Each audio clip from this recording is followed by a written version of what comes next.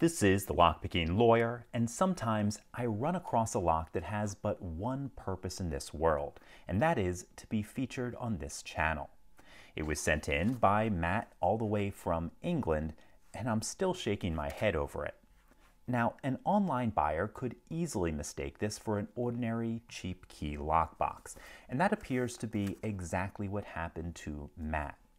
Unless, of course, that buyer were to read the fine print and discover that this is made almost completely out of plastic. That means that smashing or prying this open would likely be trivial.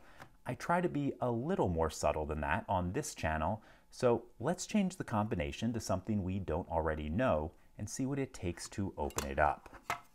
I'm going to place this into change mode, and while the wheels are facing away from me, give them a good scramble.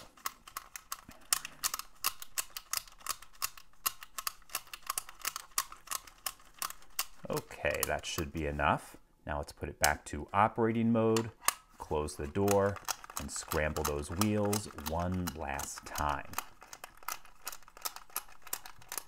Okay, I now have a box to which I do not know the combination.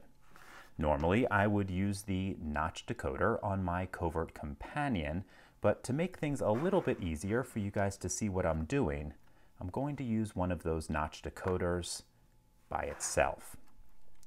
I'm going to insert the tool between the lock body and a code wheel and use that little notch to grab a bar that runs behind all of the code wheels. Once I have that bar, I'm going to pull it into the back of the code wheels and then just turn each of the code wheels until I find a loose spot in the travel. Okay, it appears the combination is 5387. Okay, folks, just when I start to think that this style of box can't get any worse, someone has to prove me wrong. I don't know the company that made it. Matt bought this on eBay and there was no company name, but it deserves both ridicule and scorn. In any case, that's all I have for you today. If you do have any questions or comments about this, please put them below.